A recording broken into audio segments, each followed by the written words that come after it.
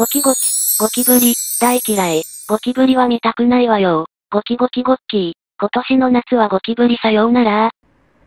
はい、皆さんこんにちは。えーっとですね、今日は、まあ、夏になると出てくる、あいつの話をちょっとしようと思ってきたんですけど、実はね、あの、僕、会社の寮に泊まることが月に2回ぐらいあるんですけど、この前、一昨日一昨日、えー夜寝てて、うちの会社、あの、あんま広くないんで、あの、寮が。雑魚寝なんですよ、みんなでね、畳の上に。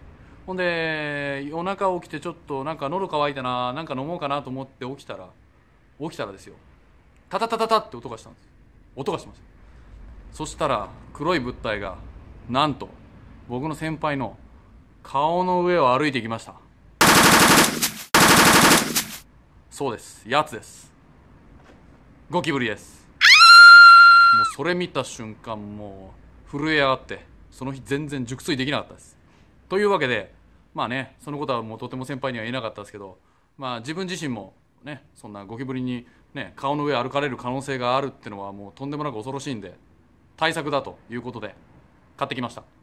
えー、っとですね近年はあのゴキブリホイホイみたいにあのねくっつけて捕まえるとか捕まえる方式じゃないんですよね。調べました。そしたらこれブラックキャップ。ブラックキャップ。これねあの置いとくとゴキブリがこう来ます。で餌食べて巣に帰ります。そうするとボカーンとみんな死ぬわけですよ。毒物みたいな入ってて。ね、まあ、こんなこんなんが入ってるんです。こんなのねこの黒いの。これをゴキブリが来て食ってまあ巣に戻って撒き散らすということで。まあつまりねゴキブリをホイホイみたいに見ることがないんですよ、うん。ね、実際僕もこれ会社の寮に置いてから本当ゴキブリ見なくなりました。前まではね毎年ねやっぱり23回見てたんですよワンシーズン。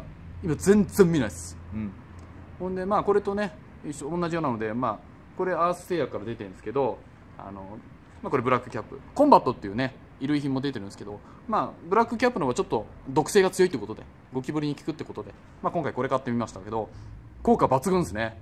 なので、まあ、ゴキブリにねこの夏会いたくない人はこれ結構いいと思いますよ。うん実際ねこれ買ってから本当見なくなった。